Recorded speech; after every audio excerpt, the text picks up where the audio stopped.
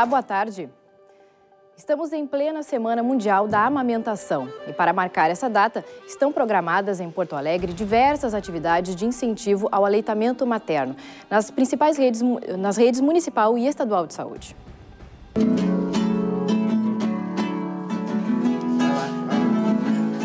Na Unidade Básica de Saúde da Família Jardim Cascata, o início da manhã foi diferente. Para marcar a Semana Mundial da Amamentação, um esquete de teatro trouxe música e informação aos pacientes. Sede tão frágil criança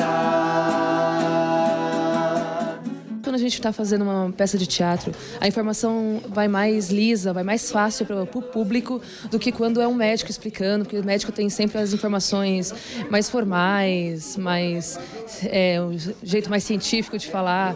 O papel do artista é mais para esclarecer. Mariana Rocha amamenta Vitor Gabriel, de sete meses, desde os primeiros dias. A saúde do bebê é perfeita.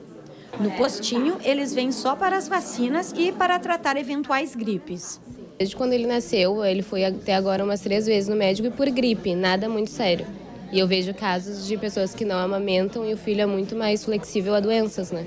O pai de Vitor avalia que momentos como o de hoje, com esquete de teatro no posto de saúde, ajudam todas as famílias. O mundo de hoje tem mais tem mais uh, adolescentes que estão tendo filho muito cedo e não tem não são instruídos pelos pais ou ou, não, ou não querem procurar alguma ajuda assim para uh, saber o jeito de como eles falaram da, pegada para alimentar e isso, isso, foi muito importante.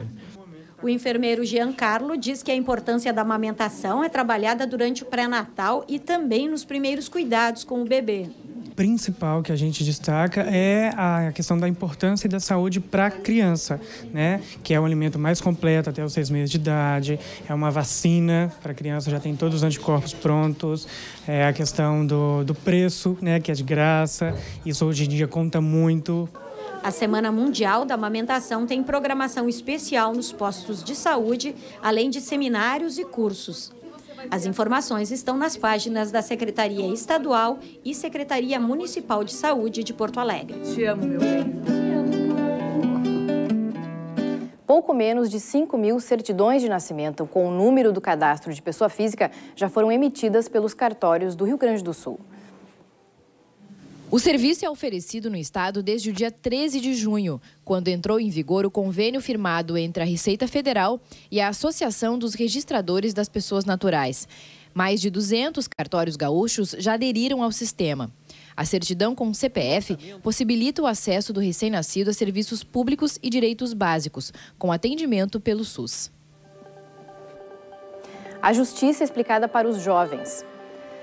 A Associação dos Magistrados Brasileiros lançou em Porto Alegre a sétima edição de uma cartilha sobre o assunto, voltada para crianças e adolescentes. O lançamento da sétima edição da cartilha ocorreu na manhã desta terça-feira no auditório da Escola La Salle Pão dos Pobres, em Porto Alegre. A publicação, em forma de gibi, quer transformar o juridiquês em uma linguagem simples e acessível para os estudantes. A justiça para muitos ainda é aquela mulher de olhos vendados, afastada. Né? Então, é isso que nós precisamos mudar. Então, é a justiça se aproximar da sociedade, dos estudantes, dos pais, dos professores. Essa cartilha ela traz para as crianças a noção de justiça, explica como funciona o poder judiciário, também traz para eles noção de direitos e deveres do cidadão. A publicação é distribuída gratuitamente em escolas públicas do Estado. Vocês têm um feedback com relação uh, ao resultado das edições que já foram lançadas? Nós temos sim, um, ainda que incipiente, mas temos já notícias de que tem tido resultados maravilhosos. A La Salle Pão dos Pobres já trabalhava com os conceitos apresentados na cartilha há dois meses fazendo um cruzamento com os valores que também nós já trabalhamos na rede La Salle. Então, esses dois meses foram intensos de atividades uh, bastante uh, focadas no aprendizado e na sensibilização para esse evento que culmina no dia de hoje. Eu aprendi que o vereador, ele deve, ele projeta as leis, o governador, ele governa o estado, o prefeito, ele cuida do da cidade e o presidente do país.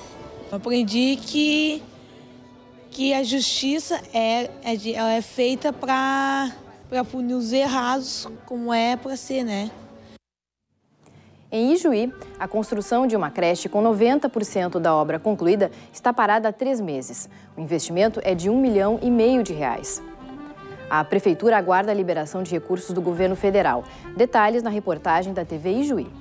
Moradores do bairro Tancredo Neves de Juí reclamam do abandono de uma obra onde deveria ser construída uma creche que deve atender até 240 crianças. Olha, seria necessário para botar as crianças que tem aqui no condomínio, que tem, são bastante crianças.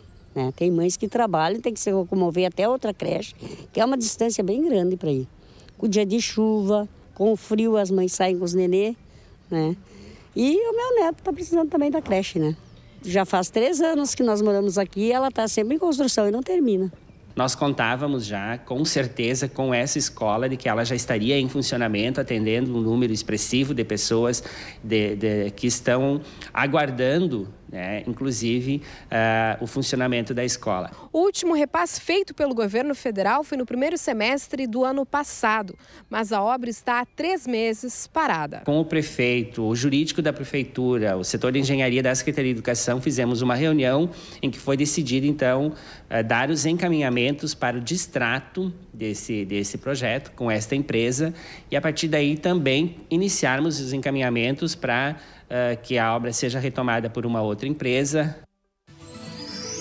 Em Porto Alegre, tarde de sol com diminuição de nuvens, noite com muita nebulosidade. As temperaturas começam a baixar, faz mínima de 12 e máxima de 17 graus. No Vale dos Sinos, muitas nuvens ao longo do dia. Em Novo Hamburgo, máxima também de 17 graus. No litoral norte, nublado com aberturas de sol à tarde. Pode garoar à noite. Em Tramandaí, máxima de 16 graus. A ocupação do prédio do Departamento Municipal de Habitação em Porto Alegre já completa 19 dias. Vários serviços que são encaminhados pelo departamento estão paralisados. Os serviços oferecidos pelo DEMAB estão suspensos desde a ocupação da sua sede por integrantes do movimento de luta por moradia. Na semana passada, a Prefeitura de Porto Alegre recorreu ao Superior Tribunal de Justiça para pedir a reintegração de posse. Desde o início da ocupação, em 14 de julho, a entrada do prédio está bloqueada, prejudicando o encaminhamento de aluguel social, o bônus moradia e a realização de cadastros. Os manifestantes pedem, entre outras coisas, a permanência das famílias na Vila Dique e a realização de um estudo técnico para averiguar se há contaminação do solo na ocupação Progresso na Zona Norte. A Prefeitura encerrou as negociações com o grupo e aguarda posicionamento do STJ. Agentes da Polícia Federal desencadearam nesta manhã mais uma fase da Operação Lava Jato. Os alvos são dirigentes e funcionários da Queiroz Galvão. A ação de hoje busca provas de organização criminosa, cartel, fraudes licitatórias, corrupção e lavagem de dinheiro relacionados a contratos da empreiteira com a Petrobras. Batizada de Resta 1, a 33ª fase da ação cumpriu 32 mandados em seis estados: São Paulo, Rio de Janeiro, Goiás, Pernambuco, Minas Gerais e aqui no Rio Grande do Sul. Quatro equipes da Polícia Federal estão em Rio Grande, na região sul. Eles cumprem dois mandados de busca no estaleiro QGI. O consórcio é formado pela Queiroz Galvão, em parceria com a IESA Óleo e Gás. As empresas são responsáveis por duas obras: as plataformas de petróleo P75 e P77. Na Serra Gaúcha, tempo instável com chuvas isoladas. Em Caxias do Sul, máxima de 18 graus. Em Passo Fundo, no norte, céu encoberto com aumento da nebulosidade à noite, mínima de 8 e máxima de 17 graus. Na região noroeste, sol com muitas nuvens durante o dia e períodos de céu nublado. Em Ijuí, máxima também de 17 graus.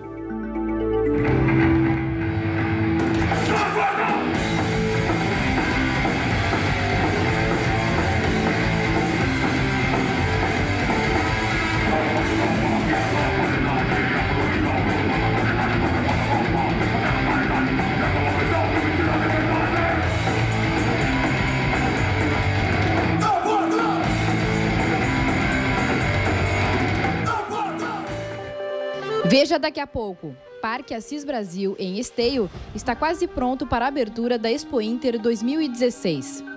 E em instantes, obras na trincheira da Anitta Garibaldi, zona norte da capital, devem estar concluídas até o final do ano.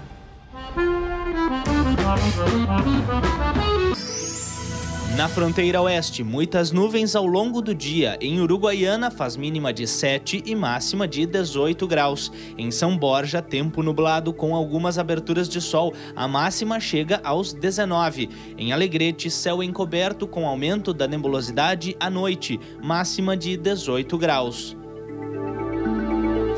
O palco da maior feira agropecuária do Rio Grande do Sul está quase pronto.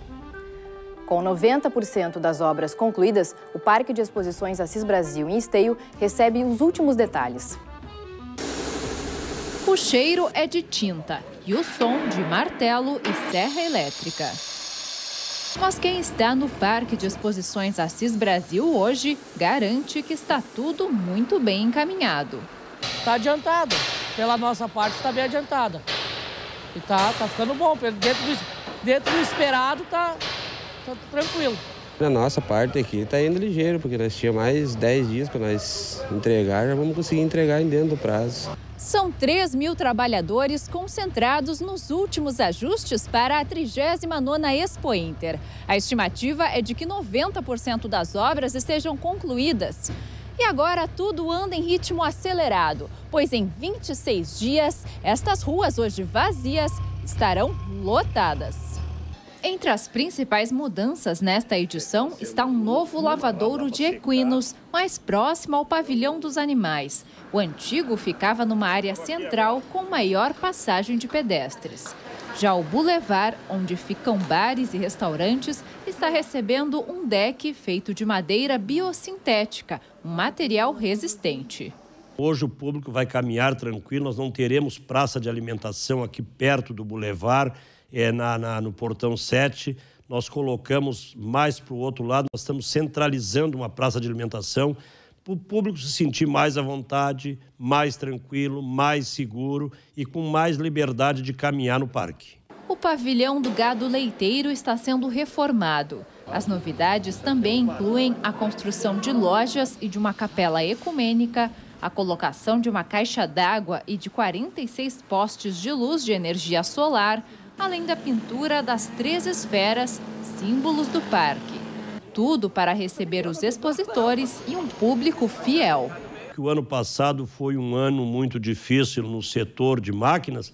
Eu acredito que esse ano, com a equilibrada que deu, nós poderemos ultrapassar o volume de negócio do ano passado em toda a Expo Inter, máquinas, animais, pequeno produtor, é, agricultura familiar, enfim, todo o movimento do parque. O que vai ficar para o próximo ano é a inauguração de um novo pavilhão da agricultura familiar, devido à demora na liberação de recursos. A obra será financiada pelo BNDES, com contrapartida do governo do estado. As obras na trincheira Anitta Garibaldi, região norte de Porto Alegre, devem ser concluídas até o final do ano. Hoje, o prefeito vistoriou os trabalhos e eximiu o município pelo atraso do processo, muito cobrado pelos moradores da área próxima. Quatro meses. Esse é o novo prazo para a conclusão das obras na trincheira Anitta Garibaldi, na zona norte da capital. Mas a construção, que anda a passos lentos desde o seu lançamento em 2012 e que foi uma das grandes promessas para a Copa do Mundo, já caiu no desgosto dos moradores. Com certeza, desde que eu moro aqui, foi uma das piores coisas que aconteceu. É uma obra interminável, política, irresponsabilidade da prefeitura e ainda não acredito que fique pronto esse ano. Hoje, o prefeito José Fortunati vistoriou o andamento das obras e lembrou que o motivo dos atrasos foge do controle da prefeitura. Durante quase um ano, houve um protesto pela retirada de árvores. Tivemos que vencer toda essa disputa. O estudo geológico não havia apresentado a existência de uma pedra tão grande. Tivemos que refazer o contrato, isso atrasou mais uma vez a obra, fazendo com que, infelizmente, o cronograma ficasse atrasado. O terceiro, a empresa, a primeira empresa que estava fazendo, acabou desistindo da obra. Nós tivemos que contratar uma nova empresa. Com 90% dos trabalhos concluídos, faltam ainda a colocação de uma placa de concreto até o teto da trincheira e da sinalização de trânsito. Vai facilitar né, a, o, o, trânsito uh, da região leste da cidade até o centro ou do centro em direção à, à, região leste. Então essa, essa, as obras elas trazem primeiro segurança na circulação, aumento na fluidez, principalmente que eram quem precisava diariamente transpor a terceira perimetral. Se realmente for concluído até novembro, o túnel será entregue com três anos de atraso. O investimento total chega a 13 milhões e 400 mil reais. Pelo menos 73 prefeituras gaúchas podem parcelar os salários dos servidores públicos até o final do ano. É o que revela a pesquisa da Federação das Associações Municipais do Rio Grande do Sul, apresentada esta manhã em coletiva à imprensa. Para 89% dos prefeitos que responderam ao levantamento da FAMURS, a principal dificuldade é a queda nos repasses federais.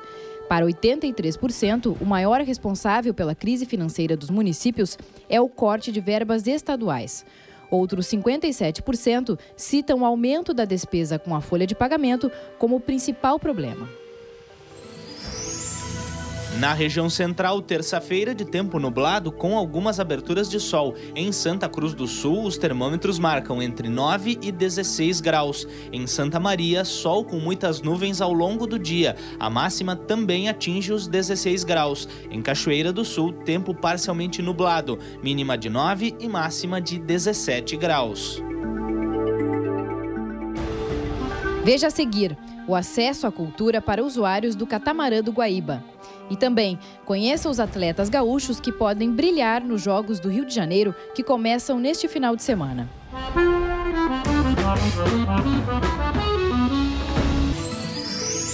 Região da Campanha, com tempo nublado e algumas aberturas de sol. Em Bagé, faz mínima de 15 graus. Em Pelotas, tempo nublado com aberturas de sol à tarde. Pode garoar à noite. As marcas variam de 10 a 16 graus. No litoral sul, tempo instável com chuvas isoladas. Em Rio Grande, máxima de 15 graus.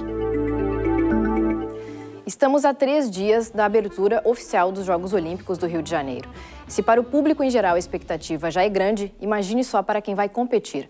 Serão mais de 10 mil atletas de cerca de 200 países diferentes, disputando 39 modalidades. Muita gente para garantir o espetáculo. E a partir de hoje, aqui no programa, vamos acompanhar a preparação dos atletas gaúchos que vão competir. Na reportagem de Newton Schiller, a expectativa dos judocas que são a esperança de medalhas para o país pronto, estou preparado aí, fazer o melhor que puder. Nossa expectativa simplesmente é quedar entre os 12 primeiros. Já vamos fazer nove anos que o Brasil não perde uma competição. Somos o favorito. Pela medalha, acredito que dá para brigar, mas o objetivo mesmo é brigar pela medalha de ouro, né? Dos 462 atletas brasileiros convocados para competir, 23 são gaúchos. Caso de Felipe Kitadai, que vai disputar as provas de judô, esporte individual que mais deu medalhas olímpicas para o Brasil. 19.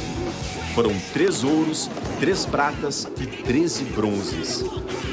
Kitadai tem 26 anos, 60 quilos e apenas 1,64m de altura. Mas quando pisa descalço na borracha do tatame, os adversários enxergam um gigante. E não é para menos. Felipe ostenta o título de campeão internacional de judô nos Jogos Pan-Americanos, medalha de bronze na Olimpíada de Londres. Nosso treino sempre é rigoroso, né? Os detalhes que a gente pegava antes a gente já ultrapassou e agora está num afinamento profundo. Paulista de nascimento e gaúcho de coração, Kitadai diz que o momento é de se superar. Do que depende a conquista de uma medalha? Acreditar. Acreditar é a parte mais difícil, né? Você se comparar com todos os melhores é, competidores do mundo e acreditar que você é o melhor, acho que essa é a parte mais difícil, mas a gente tem trabalhado bem isso. Medalha de ouro no Pan-Americano, Maria Portela, de 28 anos, foi desclassificada já na primeira luta nas Olimpíadas de Londres. Agora ela tem um desafio: superar o que não conseguiu concluir na terra dos ingleses. Esse é o objetivo, né? De chegar à medalha. Mas se eu só pensar na medalha, fica difícil. Aí sim vai dar vai aquele frio na barriga, vou ficar nervosa, então é mais fácil pensar luta por luta E a única certeza que eu posso dar é que eu vou dar o meu melhor, vou buscar, vou me entregar na competição e vou atrás do meu sonho, que é a conquista da medalha olímpica. Quando pisar no tatame brasileiro, a judoca vai ter de ser mais veloz na aplicação das técnicas para vencer a adversária. Um compromisso que tem lhe custado muitas horas de treino e disciplina. Dado conseguir entrar na luta, é, mais tranquilo tu fica e tu consegue lutar melhor, né? E aí os, os golpes se encaixam melhor, tu consegue resolver as situações melhor. Concentração é um ponto bem chave né, no judô. Favorita ao topo do pódio na Olimpíada, Mayra Guiar é a única da equipe olímpica feminina na atividade do time masculino. Mayra treina com homens da seleção para ganhar força rumo ao ouro no Rio. Eu sempre fui bastante forte e na minha categoria que eu luto hoje, até 78 quilos, não tem tantas mulheres. Então é difícil eu encontrar uh, um adversário da realidade, como eu luto na realidade em competição. Então, com os meninos eu consigo achar essa realidade. Aos olhos de quem treina Mayra, Maria e Felipe, a esperança é grande. Kiko tem talento de sobra para emprestar. Afinal, são 30 anos de experiência com atletas olímpicos. O judô desde uh, 1984, Jogos Olímpicos de Los Angeles, sempre traz. 84 trouxe uma medalha, uh, trouxe três medalhas, 88 Seul trouxe uma medalha, 92 trouxe uma medalha de ouro, 96 trouxe duas medalhas, 2000 trouxe duas medalhas, 2004 trouxe três medalhas, 2008 trouxe quatro medalhas. O judô brasileiro está sempre frequente nos pódios olímpicos. Os atletas estão bem preparados, estão uh, experientes. A Mayra é a sua terceira Olimpíada, o Kitadai e a Maria Portela são a sua segunda Olimpíada, ou seja, não vão sentir aquele, aquela sensação da estreia nos Jogos Olímpicos, já são atletas já carimbados, atletas cascudos, como a gente se fala, e eu tenho certeza que uh, eles vão representar muito bem o esporte gaúcho, o esporte nacional. E a dificuldade pode, pode ser né, pela questão emocional, né, porque vai ter uma, uma comoção nacional, né, é, em função de ser em casa. Em função de ser em casa, mas a gente tem que entender, né, que os atletas estão muito bem preparados, que os atletas tiveram um, um, uma preparação muito boa, né? Mas também nós temos que entender que os outros também treinam, né? Que os outros também se preparam, mas nós estamos tranquilos porque o trabalho foi bem feito e eu acho que o atleta brasileiro, em alguns casos, cresce no momento da competição quando ela é no Brasil.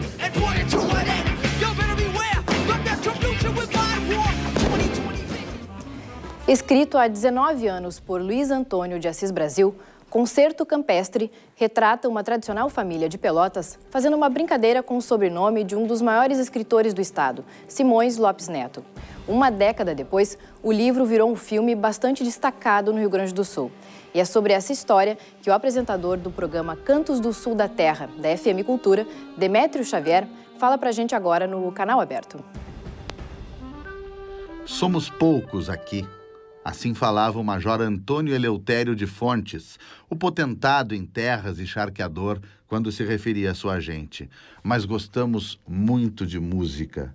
Que beleza, que belo início dessa obra de Luiz Antônio de Assis Brasil, o Concerto Campestre, e que com esse desconcerto que causa logo no início, no primeiro parágrafo, talvez possa nos lembrar, sem que a gente tenha a necessidade de buscar rótulos, buscar esse tipo de categorização, mas talvez possa nos lembrar alguns inícios de obras de Garcia Marques, por exemplo, sobretudo aquelas que vêm eivadas do ponto de vista do realismo mágico. E será que tem algo algo de realismo mágico nessa ideia, vejam o que é o concerto campestre. O Major Eleutério, um tremendo latifundiário do, da segunda metade do século XIX, charqueador além de estancieiro, resolve organizar, manter por caro que seja, por exótico, por estranho que pareça a cultura daquela região, uma orquestra, uma bela orquestra do, do, maior tamanho possível, da maior qualidade possível, regida